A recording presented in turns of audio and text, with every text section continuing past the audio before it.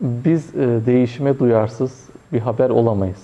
Bu sebeple gerek Twitter'dan, gerek Facebook'tan, gerek çeşitli iletişim kanalıyla hem ilçe Milli Eğitim Müdürlüğü olarak hem bireysel şahsımız olarak öğrencilerimizle, öğretmenlerimizle, yöneticilerimizle, paydaşlarımızla, velilerimizle bu sistemi aktif olarak kullanıyoruz.